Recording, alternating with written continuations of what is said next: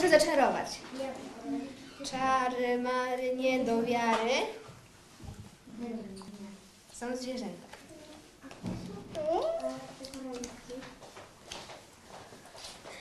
Teraz zaczaruję, żeby zwierzęta miały kolor. Czary, mary, nie do wiary. Co to jest?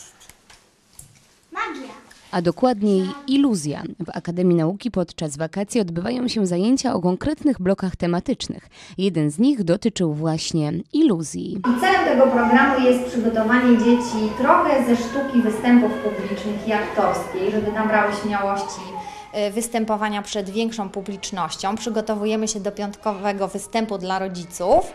No i przy okazji mają kupę dzieci frajdy w poznawaniu y, iluzji, sztuczek magicznych i dowiadują się, że to nie jest tak naprawdę żadna magia, tylko nauka. A przy tym ciekawi są fizyki czy chemii.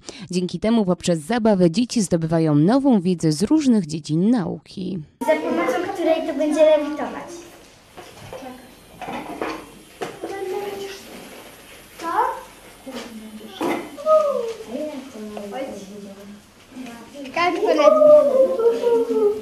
Widać, że w Akademii dzieci lubią tu przychodzić, bo się leje fontanna. Potrząsnij włosami.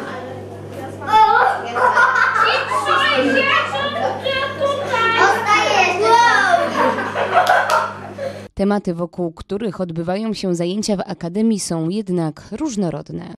Mieliśmy też odkrywców na leżaku yy, i generalnie w Akademii jest sporo eksperymentów naukowych, więc odkrywcy na leżaku byli nastawieni na takie eksperymenty naukowe, yy, szczególnie z dziedziny fizyki, ale przy okazji dzieci odkrywały talenty plastyczne, mieliśmy warsztaty yy, z panią malarką, mogły sobie na większym formacie popróbować własnej twórczości plastycznej. Oprócz przyswajania nowej wiedzy i w ciekawy sposób zagospodarowania wolnego czasu, zajęcia mają na celu integrowanie dzieci. Chodzi o to, żeby dzieci bardziej dogadywały się ze sobą, bo dzisiaj mamy takie czasy, że sporo jest jedynaków.